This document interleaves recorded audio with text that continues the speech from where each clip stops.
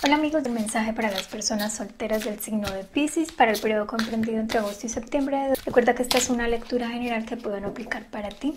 En la lectura general a nivel del amor y las relaciones te mostraban este 10 de picas y el número 7, Peter Pan, en, esta en, esta, en este mazo del el niño interior. Te mostraban con eso la necesidad de conectar con el lado positivo de tu niño interior quizá de los propios recuerdos, las memorias que tengas de tu infancia. Quizá para poder acceder a eso primero tengas que sanar y liberar la propia sombra que el niño interior también carga y que, que manifiesta constantemente a través de tus relaciones, en este caso tus relaciones de pareja, que atraes las personas desde tus propias heridas de infancia y quizá no, no lo has notado, no te has sentado a analizar y apreciar que esto es así en el 100% de los casos a menos que tú hayas estado trabajando a tu niño interior y seas consciente de cuáles son las heridas que constantemente se manifiestan, no solo en tus relaciones, sino en general en tu vida. Un tiempo para que integres la sombra y la luz de tu propio niño interior, la sombra y la luz de tu propia infancia, para que al final los trasciendas y puedas traer luz de esa época para tu edad adulta y sin olvidar a este niño interno, puedas empezar a mm, manifestar algo completamente diferente a nivel de las relaciones. Puedas tener relaciones adultas y maduras con un toque de esa, con esa chispa del niño alegre, feliz, creativo, con una gran dosis de imaginación, con capacidad de asombro, capacidad de crear nuevas realidades. Pero es urgente que tú prestes atención a todo esto y una forma de conectar con tu niño interior es prestar atención, mirar bien de cerca las relaciones que has tenido hasta ahora, mirar bien de cerca cómo te tratas a ti mismo, cuáles son los pensamientos, las conversaciones internas que tienes contigo y con respecto a las demás personas, con respecto a las relaciones de pareja y del amor. ¿Cómo son esas conversaciones? ¿Son amorosas? ¿Son compasivas? Buscan soluciones o solo se enfocan en los problemas.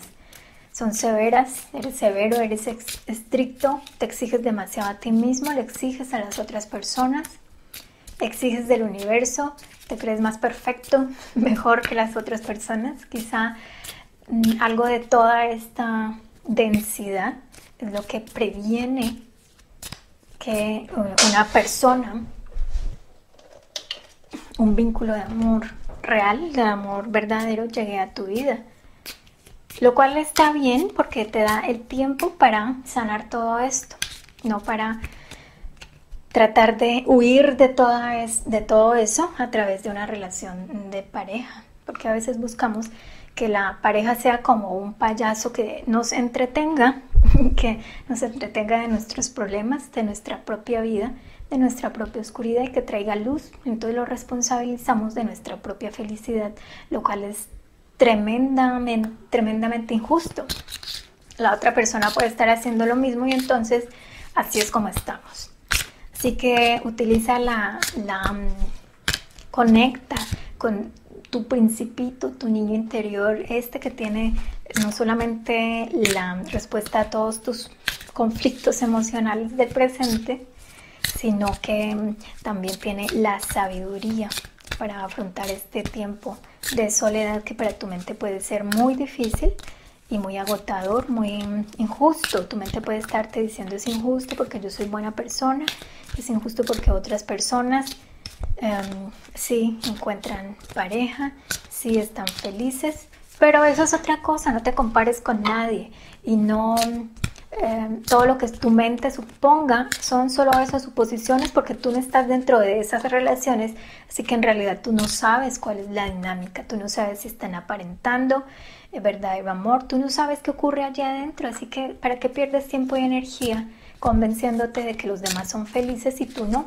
Tú no lo sabes, de pronto es más feliz quien está solo por un tiempo, por decisión voluntaria o no siempre que lo esté aprovechando el, aprovechando el tiempo para crecer y expandirse, de pronto es más feliz alguien que está solo que alguien que está en una relación por no estar solo.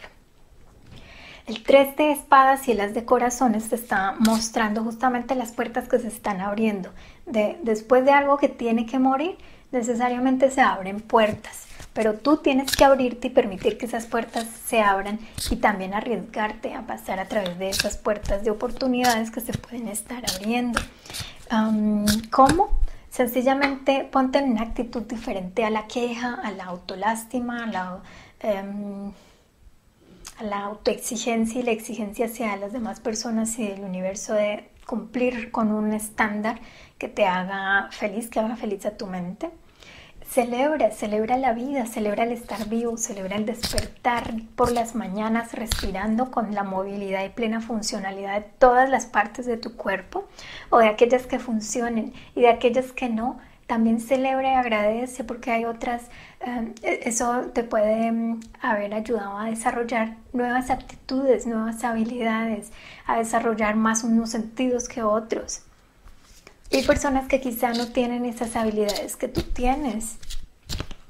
Concéntrate en lo que tienes, lo que has creado, lo que has mejorado, lo que ha crecido en tu vida, lo que has obtenido, aprendido a nivel emocional de tus relaciones de pareja y celébralo, agradecelo. Agradece incluso a todas aquellas personas que han aumentado todo este campo de energía negativo porque eso te impulsa a crecer y te impulsa a cambiar. De otra manera, no, no sentirías la necesidad de cambiar definitivamente y de dejar atrás todo esto. Pero ábrete, ábrete a recibir, no sientas em, lástima por ti, tampoco sientas vergüenza por querer cambiar o por querer celebrar estas pequeñas grandes cosas de las que está compuesta tu vida. Y ábrete también a... Mm, sobre todo es como el agradecimiento, la aceptación de todo lo que las otras personas han hecho, todo lo que has construido con las otras personas, inclusive si trajo dolor, si ha traído remordimiento, porque esto son oportunidades.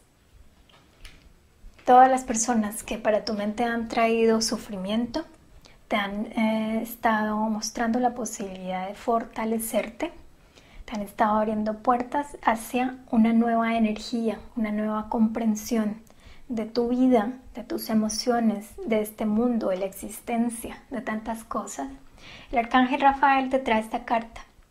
Usa tus habilidades naturales de sanación.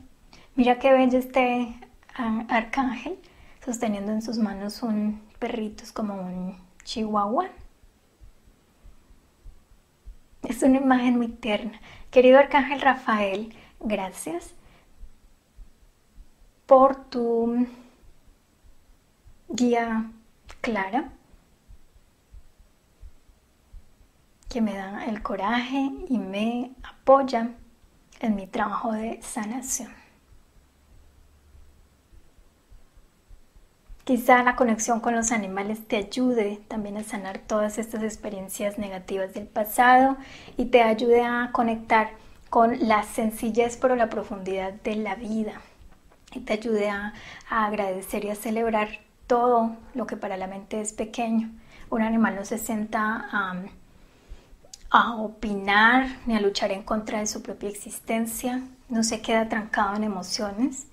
Em, como lo hace con tanta facilidad el ser humano. Tenemos tanto que aprender de los animales, la conexión con ellos puede ser muy sanadora para ti en este momento. Yo espero que tengas en cuenta ese mensaje amoroso de los ángeles, te envío un abrazo de luz, muchas bendiciones.